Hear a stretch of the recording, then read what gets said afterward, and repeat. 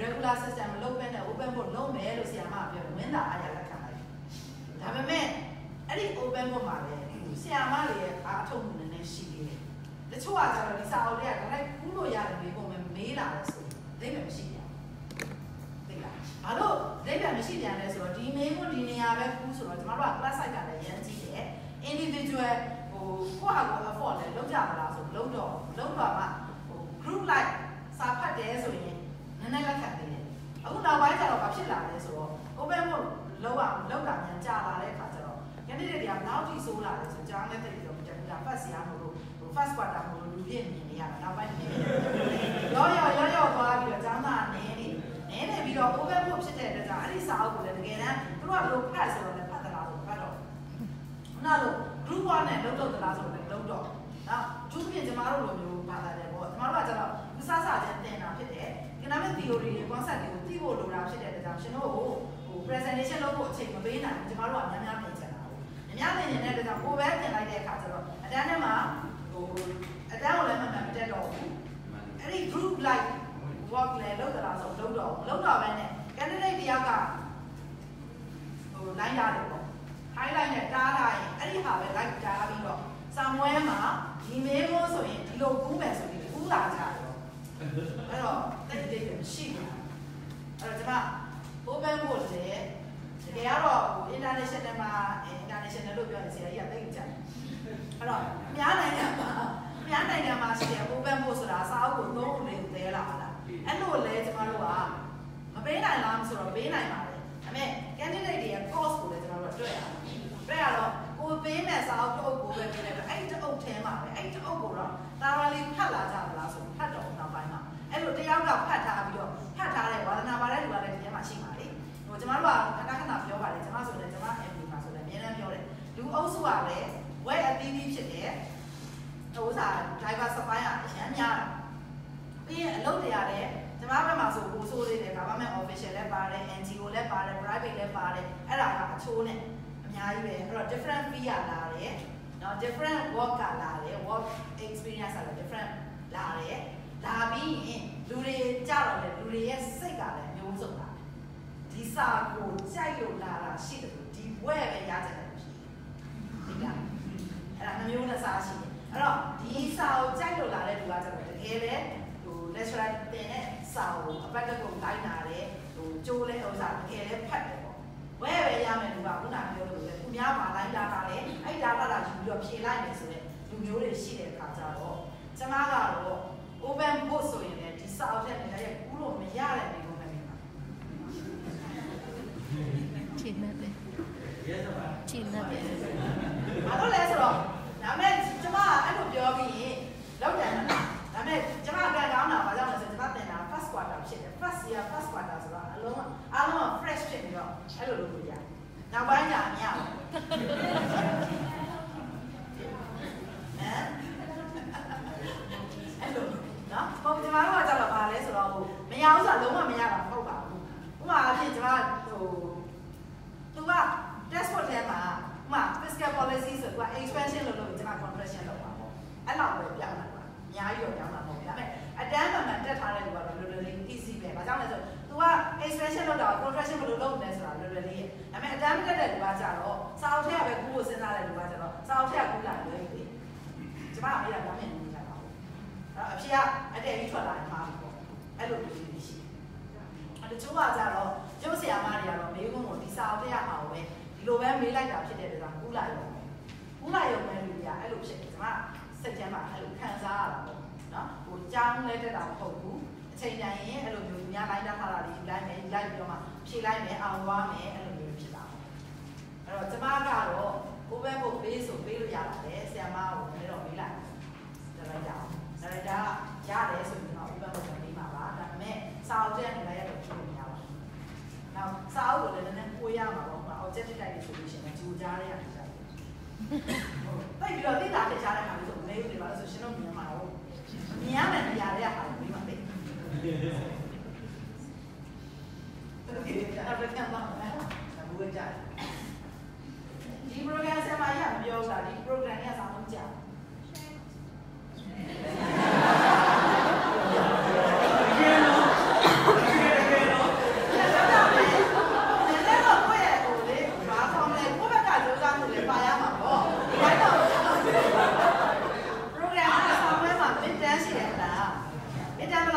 လုပ်ပေးမယ်လို့ပြောထားတယ်ဆရာဟုတ်တယ်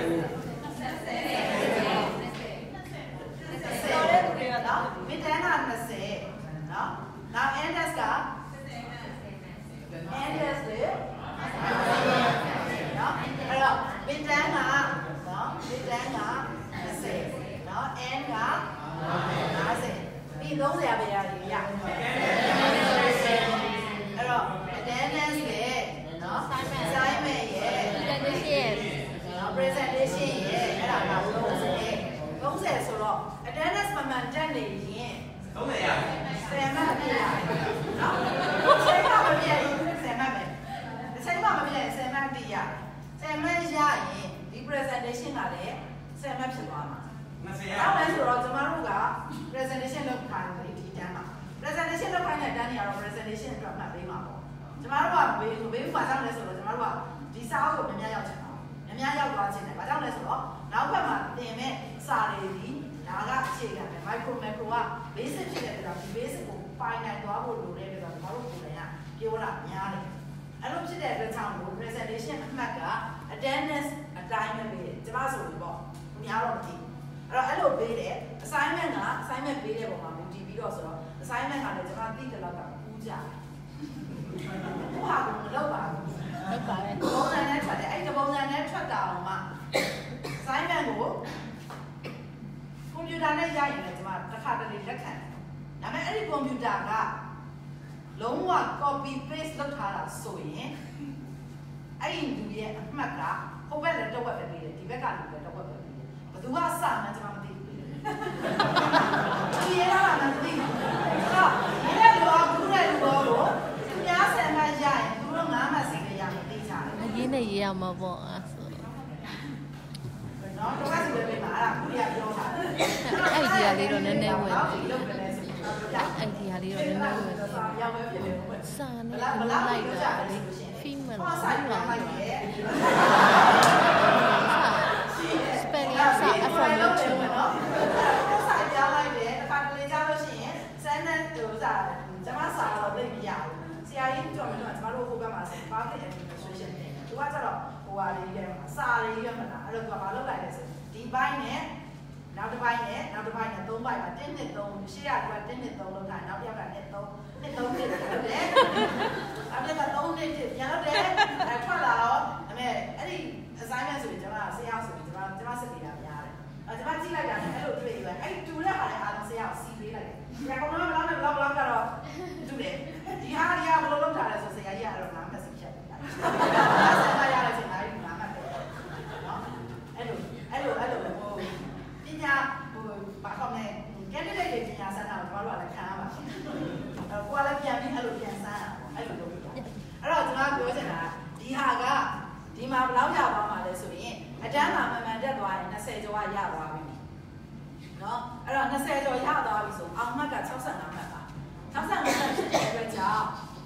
ပေါ်က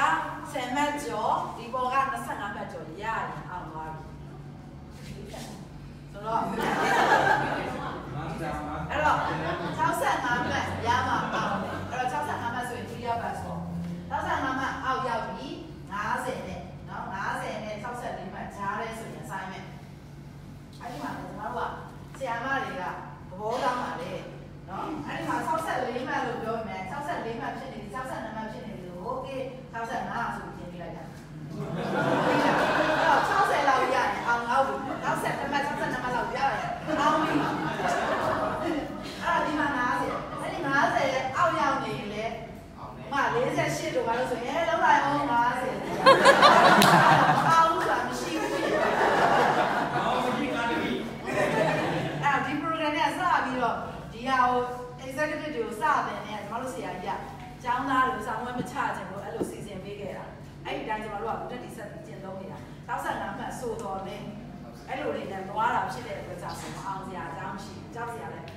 ကြောက်စရာမရှိဘူးဆိုတော့အကြောင်းပြေးကြတယ်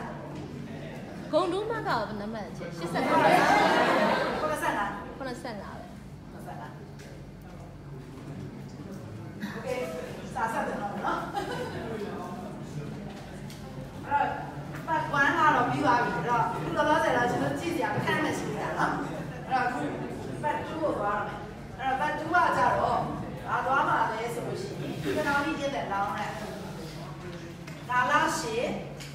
ပြည်ရဲ့စီးပွားရေးအခြေအနေကိုလေ့လာအဲ့တော့ကျမတို့ကတကယ်ကတော့တိုင်းပြည်ရဲ့စီးပွားရေးစနစ်ကိုလေ့လာကြည့်နေဆိုရင်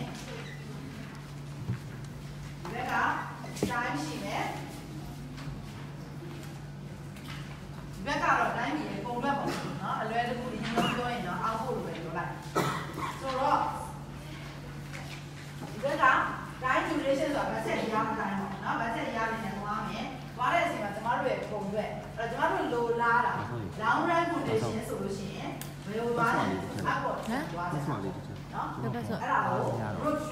trend ဘယ်ဘက်ဆိုလဲ Phone, phone, phone. နော်တိုးတက်မှုအလားအလာသူ့ကိုကျမတို့က upward trend ပဲလုပ်ခြင်းတယ်။ဘာကြောင့်လဲဆိုလို့ရှိရင်တစ်ဖက်မှာကျမတို့ကဘာရှိလို့လဲဆိုတော့လူဦးရေကတိုးတာဖြစ်တဲ့အတွက်ကြောင့်အဲ့တော့ဘာရှိလဲဆိုတော့ market down GDP equal to the GDP by population နော်လူဦးရေနဲ့စားတာလားဆိုတော့ကျမတို့ဒီဘက်က market တဲ့ income ကိုတိုးခြင်းလားတိုးခြင်းလားဆိုတဲ့အတွက်ကြောင့်မို့ growth rate of targeted GDP equal to the နော် growth rate of GDP ဆိုတော့ဒါက S ဆိုဟိုပါပေါ့ total amount ကြီးအဲ့ဒီ total amount ကြီးကျွန်တော်တို့ growth rate ပြောင်းချင်တယ်ဆိုရင် percentage ရှာလိုက်တယ် percentage ရှာလိုက်တယ်ဆိုလို့ရှိရင်ဒီအစားကိန်းဒီမဖြစ်သွားလို့ဆို percentage ရှာလွတ်ဖြစ်သွားတယ်နော် log ယူတယ်လို့ပြောတာပေါ့သင်္ချာသဘောအရဆို log ယူလိုက်တယ်ဆိုရင်အစားကိန်းဒီ log ယူရင်အနှုတ်အနှုတ်ဆိုတဲ့အတွက်ကြောင့်မလို့ဒီမှာ rate of growth of GDP minus rate of growth of population ဖြစ်သွားတယ်ဆိုတော့ ဒီဘက်က rate of growth of per capita GDP ဆိုတာကျွန်တော်တို့ရဲ့တူးချပြန်မြဝင်ဝင်တိုးချင်တာတိုးချင်တယ်ဆိုရင်ဒီဘက်က rate of growth of GDP နဲ့ rate of growth of population မှာဘယ်သူများမှဒီဘက်ကတော့လုံးပါမယ်အနှုတ်ဖြစ်သွားတာဖြစ်တဲ့အတွက်ကြောင့် rate of growth of GDP greater than rate of growth of population ဖြစ်မှာကျွန်တော်တို့ရဲ့ဒီဘက်ကတူးချဝင်ဝင်ကတိုးလာနော်တူးချပြန်မြဝင်ဝင်ကတိုင်းပြည်ရဲ့စီးပွားရေးအခြေအနေကို ပြမယ်ညွှန်ကိန်းလေးဖြစ်နေပြီလို့အဲ့ဒီညွန်ကိန်းလေးတိုးကျင်တယ်ဆိုရင်နော်တိုင်းပြည်ဝင်ငွေတိုးတက်မှုနှုံးသည်လူဦးရေတိုးနှုံးထက်များမှာဒီဘက်ကကိန်းကတိုးမှာဒါကြောင့်ပါဆိုကျွန်တော်တို့ကဒီဘက်က population growth rate က2%လောက်ရှိတယ်ဆိုရင် GDP သည် more than 2%ဖြစ်ဖို့လိုတာပေါ့နှစ်စဉ်နော်ပိုပြီးတိုးလာမှာကျွန်တော်တို့ဒီဘက်က target တဲ့ GDP တိုးမှာဒါမှမဟုတ်ကျွန်တော်တို့ရဲ့ growth trend သည် upward level ကိုလိုချင်တာတိုးအောင်လိုချင်တာ အဲ့တော့ကျွန်တော်တို့ဒီမှာ but 2မှာ economic in the long run ဒီရေရှည်မှာတိုးတက်မှုကိုရဖို့အတွက်တိုးတက်လာဖို့အတွက် economy ရဘာလုပ်ရမှာလဲဆိုတာကိုကြည့်ပါနော်အဲ့ဒါကိုကြည့်တဲ့အချိန်မှာ classical theory ဆိုတော့ကျန်ရုပ် theory ပေါ့အဲ့တော့ကျန်ရုပ် theory ဆိုတာတကယ်တော့ဘာပဲလဲဆိုရင် micro economics ပဲ micro economics ရဲ့အစက economic အစပဲနော် economics ကစစညာ micro နဲ့သွားတယ်ဒီ Adam Smith က demand supply ကို invisible hand ဆိုပြီးတော့ consumer နဲ့ producer ရဲ့ interaction ကိုလေ့လာတာ economics ဆိုတဲ့ဘာသာရပ်ကြီးပေါ်လာတာအဲ့တော့ကျွန်တော်တို့ကအခုကျတော့ကျွန်တော်လေ့လာတဲ့ဘာသာရပ်ဒီ macro ဖြစ်သွားတော့အဲ့ဒီတူးချင်းတယောက်ချင်းချက်ဘာဘာဘာလာပါလဲဒီ rule of macroeconomics မှာကျွန်တော်ပြောပြီးသားဟို Great Depression ဖြစ်တဲ့ unemployment ကြီးမားလာတဲ့အချိန်မှာနိုင်ငံမှာဘာပါလာမလဲဆိုရင်အစိုးရပါလာမယ်အစိုးရက ဒီ unemployment problem ကိုဖြေရှင်းနိုင်တယ်လို့လေ့လာတာအဲ့လိုလေ့လာလာတာဖြစ်တဲ့အတွက်ကြောင့်ကျွန်တော်တို့ဒီမှာ classical theory ကိုကြည့်တဲ့အချိန်ကြာလို့ရှိရင်အစိုးရကဘာလုပ်ပေးတယ်လဲအဲ့တော့အစိုးရကဘာလုပ်ပေးတယ်လဲဆိုရင် policy တွေနဲ့ထိတ်တာပေါ့အဲ့တော့ policy အနေနဲ့ကျွန်တော်တို့သိထားတယ် fiscal policy monetary policy နဲ့ထိတ်ပါပေါ့အဲ့ဒါမျိုးကို classical theory အစနဲ့တော့အဲ့တော့ chapter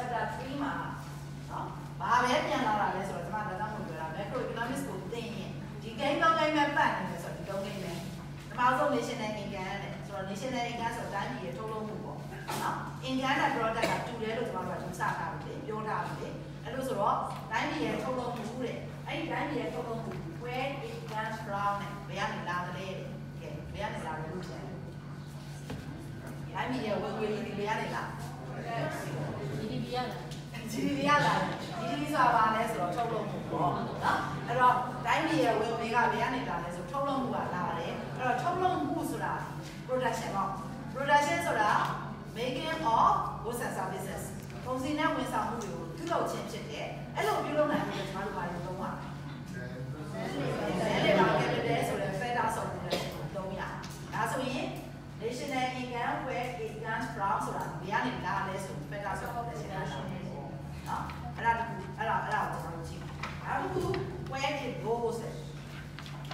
သွားတယ်ဆိုတော့ပြောချင်တဲ့သဘောကထွက်လာတဲ့ကုန်ဘက်ကိုကျမတို့ဘလို့ပြန်ပြီးတော့ distribute လုပ်တယ်ဆိုတော့ဟိုစားစားချင်းကျမတို့ economics ကိုလေ့လာတဲ့အချိန်မှာဟိုစားစားချင်းပြောတယ်လေ economics ဆိုတာ economic activity စီ human behavior ကိုလေ့လာတယ် human behavior ဆိုတာဘာတွေလဲဆိုတော့ economic activity ပဲ consumption production distribution ဒါတွေက economic activity ပဲဆိုတော့ဒီအခါမှာ production နဲ့ consumption sorry distribution ကိုကြည့် နော်အဲ့တော့ national income where it comes from ဆိုတာဘယ်ကနေလာတယ်လဲဆိုထုတ်လုပ်ခြင်းကလာတယ် production ကိုကြည့်မယ်အဲ့ဒါက where it goes ဆိုဘယ်ကိုသွားတယ်လဲဆိုတော့ distribution ကိုကြည့်နော်အဲ့ဒီလိုပါ